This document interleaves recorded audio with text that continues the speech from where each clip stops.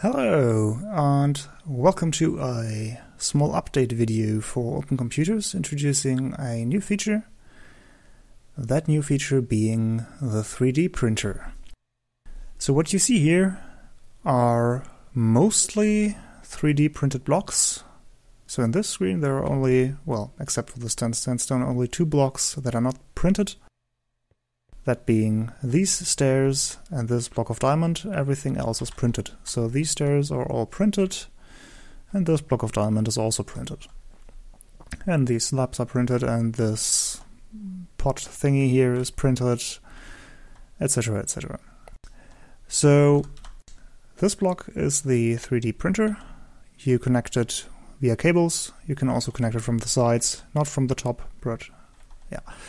And this is what's used to print the blocks. So if we open this up, we see the GUI, and we see the two input slots and the output slot, and these input slots take two resources, the one being this one. This is basically the raw matter that is used to print the blocks. It's crafted like this. And the other one, the lower one, is for the ink, which is used to color the blocks, basically. Oh, well, that's the explanation anyway which is crafted using this and filled up using some dyes. Uh, when I put it in, it fills up the uh, internal buffer of ink and spits out the empty cartridge. If I put in some of this uh, raw material, we'll see the uh, bar here going up a bit. That's used to print the shapes. Um, the way the consumption is computed is that the uh, raw matter uh, consumed is based on the volume of the printed shapes, and the ink is based on the surface area of the printed shapes. So what we now see is that nothing is happening, which is because we have not yet defined a model to be printed. For this, we use a computer.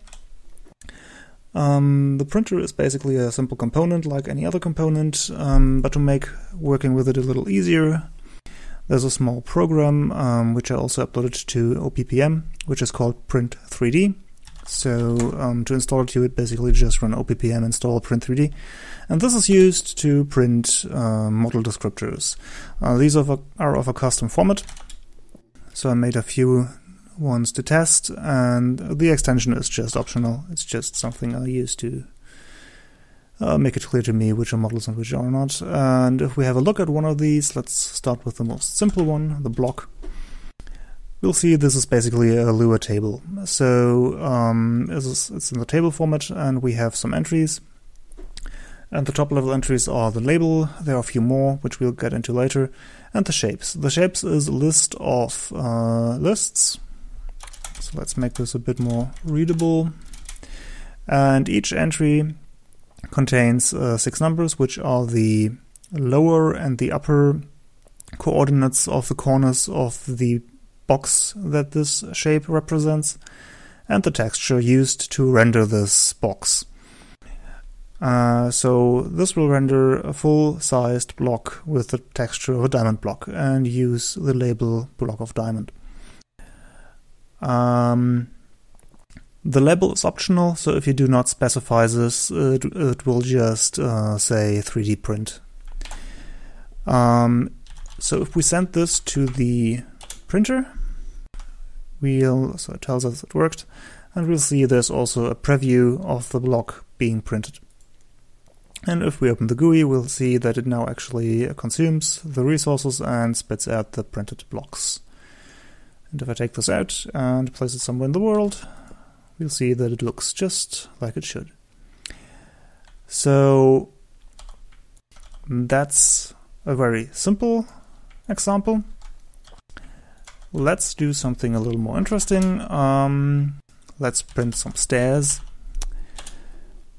Uh, print 3D. Again, we'll see there's the preview, and if we, well, it, uses a little less resources because it's smaller, so it could print a single one, which is enough for us right now. And we can print, uh, place those somewhere in the world, and they are also rotated based on which way you're facing when you place them. Um, they do not flip upside down like stairs would, but you can print them that way if you want to. And what we also notice now is that the collision model for these blocks is based on the actual shapes used in the model. So these work like actual stairs. I can walk up those. And that works like you'd expect it to.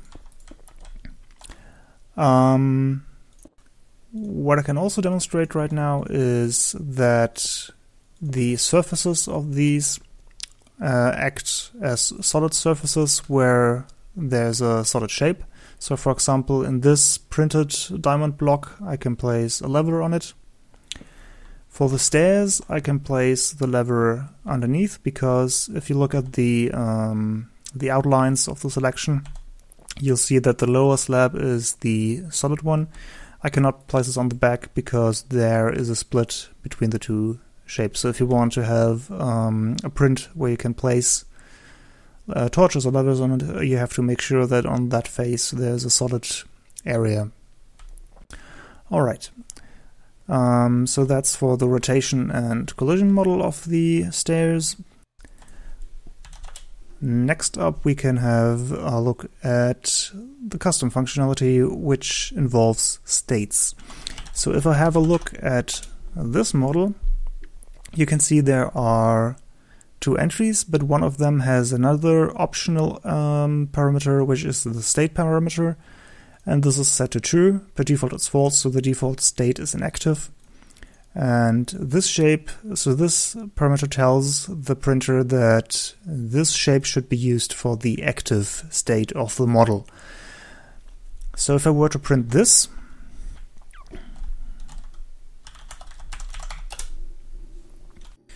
Again, we'll see the preview in here and put some materials in. Let's see if this is enough. Yes. We'll now see we have a printed trapdoor essentially, so which is this one. And this allows us to right click it to flip its state. So it pretty much behaves like a trapdoor. It also reacts to redstone.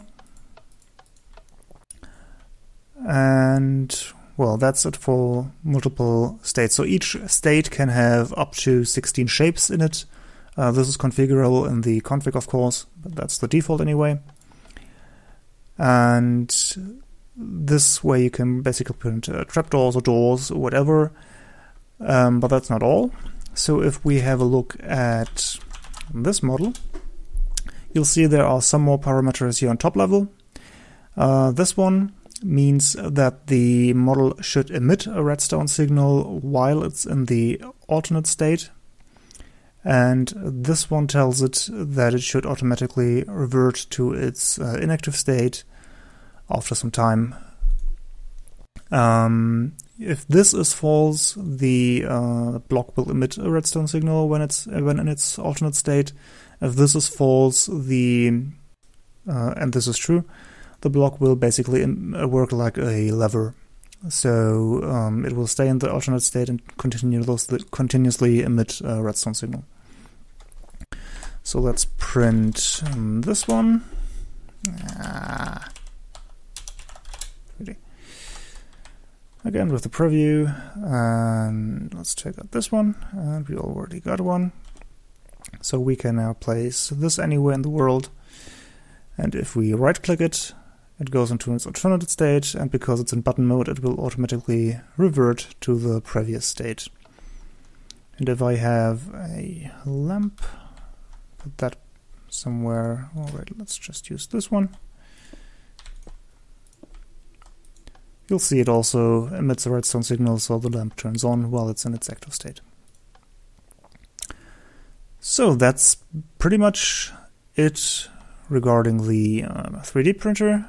Uh, some things may change until release, but for the most part, this should be relatively final. One final remark, however, um, what you did notice probably when we looked at the uh, model files, the textures were specified as strings. Um, these names you can get using the new tool, which is the texture picker, which is crafted using an analyzer and a few dyes. And if you use that to click on a block, it will tell you what texture is used on that side of the block. So can use that to figure out uh, which textures to use for your models when you print them.